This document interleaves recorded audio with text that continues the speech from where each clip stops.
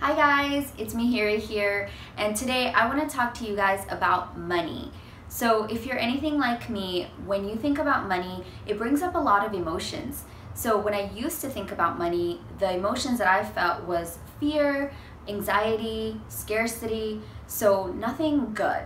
And I definitely trace this back to my childhood because even though I wouldn't say that my family was poor by any means, when my parents moved here to America, they had to start completely from scratch and raise three young kids at the same exact time. So the feelings that surrounded money when I was growing up was that there was never enough money. So recently I've been diving into all of this law of attraction, manifestation, and energy and all of that stuff. And it's really made me look into my relationship with money and all the emotions that I have with it. So for those of you who aren't familiar with the uh, concept of law of attraction, I'll link some great videos below that explain it much better than I can. But basically it talks about how we attract what we put our energy into. So for example, if you are a negative person, well, you're just going to attract more negative things. So it's the idea that we control our reality from our thoughts.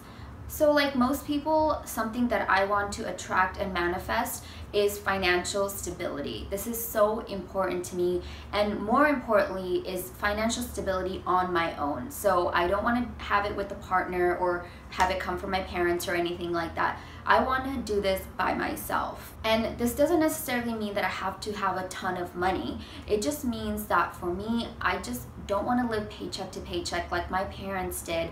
And I just don't want to have to think about money at all. I want it to be an ever-present thing that I don't have to think or worry about. The next thing I learned is that you have to change the emotions that you have associated with money.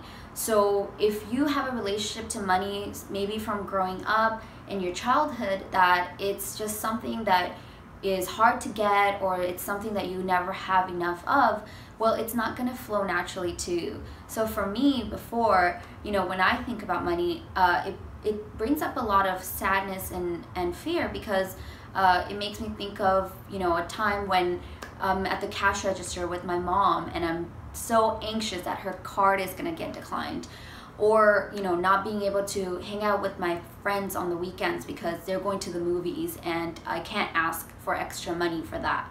So those are the, the emotions and ideas that I had associated with money. So I had to decide that I am going to let go of all of these emotions that I had attached with it and start all over again and try to feel that I have enough and that I am an abundant person and that money comes easily to me. And I know that it's a little bit hard to imagine, especially if you don't have it right now. You know, if you don't have a bunch of money in your bank account and you can't see it, it's a little bit hard to change your attitude towards it and, and to feel like you're a rich person. But before it can materialize in the in the actual world, it has to exist in your mind. So no matter what your situation is, how much debt you have, how many bills you have to pay, just feel like you are a rich person who money flows easily to. And I think that's the first step to attract abundance to yourself is to already believe that you already have it. Another thing that has helped me to change my relationship to money is that you have to tell yourself that you deserve it that you deserve to be financially stable, you deserve to have the income that you want, and you deserve to have the life that you want. So, a great example of this was when I moved into the place I live now. I had to take like one month to really realize that this is a life that I deserve to live. I for like the first month I felt like such an imposter. Like why do I deserve to live here? There was a long time that I just did not feel like I deserved to live in such a nice house in a nice neighborhood and that I was just an imposter taking somebody else's place who deserved to be here. So I think for me just being in a struggle all the time was just so part of my identity and just a part of who I was that when I actually got something that I really, really wanted, I didn't know how to process it. And I just felt like it's a mistake, like I'm not supposed to be here. So it took me a really long time to, to realize that I deserve this and that I'm not here by accident and I deserve to live in a place that I'm comfortable. So it all begins with changing the narrative you have in your head. So if you feel like you are just always struggling and you your family has always struggled and that's just a part of who you are, you have to change that narrative. You deserve to have the life that you want, the lifestyle that you want. You deserve to, to have the income that you want and you deserve all the good things to happen to you. The last tip that I have to give to you guys is to give gratitude.